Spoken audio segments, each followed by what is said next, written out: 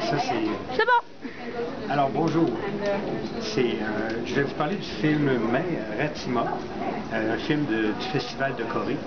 Et euh, j'étais un petit peu surpris parce que il y a une différence culturelle assez importante avec euh, la Corée et nous autres. Et puis on ne comprend pas tout le temps leur façon de faire. Par exemple, les hommes sont assez durs envers les femmes. Les femmes aussi, à un moment donné, ils répondent à, un peu comme miroir avec les hommes. Et euh, Enfin, c'est l'histoire d'une immigrante thaïlandaise qui est en Corée du Sud et qui finalement est devient comme illégale et puis on, le gars tombe, un Coréen tombe en amour avec elle et euh, c'est pas évident. Tout le long, c'est des problèmes. Enfin, alors je sais pas quoi penser vraiment de ce genre de film, mais euh, voilà. Moi, je m'acclimate que j'en revois d'autres un peu que je lis sur le cinéma coréen.